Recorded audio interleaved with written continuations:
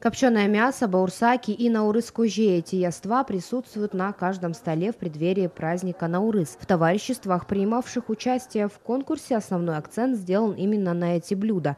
К примеру, мясокомбинат «Бижан» представил вниманию населения широкий ассортимент продукции собственного производства.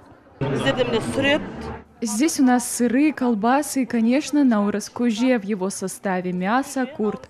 В общей сложности сделано с добавлением семи зерновых культур.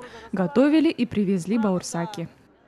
В конкурсе приняли участие 10 крупнейших компаний Кокшетау. Предприятия продемонстрировали не только разнообразие блюд, но и красоту национальной одежды. Мы очень ждем Наурыз Мейрама для нашего народа. Это очень великий праздник.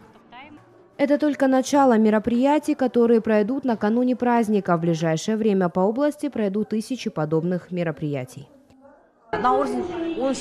С 13 марта запланированы ежедневные мероприятия. Среди них айтыс, конкурсы, фестивали. И Управление культуры объявило челленджи. Они посвящены традициям, национальной одежде, национальной кухне.